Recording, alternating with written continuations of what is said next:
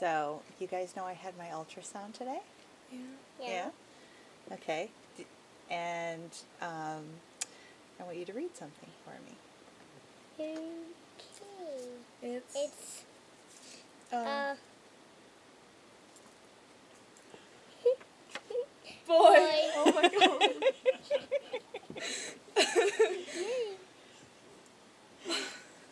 What do you think? It's a boy. Sophia. Tell me what you think about that. I wanted to be a boy. Finally.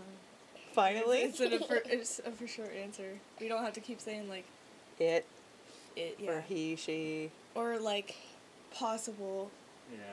or he, he. I mean, well, he or she. Yeah. So you guys are gonna have a baby brother. My goodness.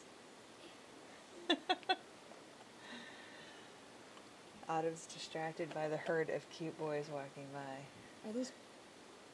No, I, I was looking at the one with the scarf, and I couldn't decide if it was a guy or not. Because I like those scarves. All right. Well, this is going on the internet, so say goodbye. Goodbye. Do you have name ideas? What's your favorite name? James. James. And what about you?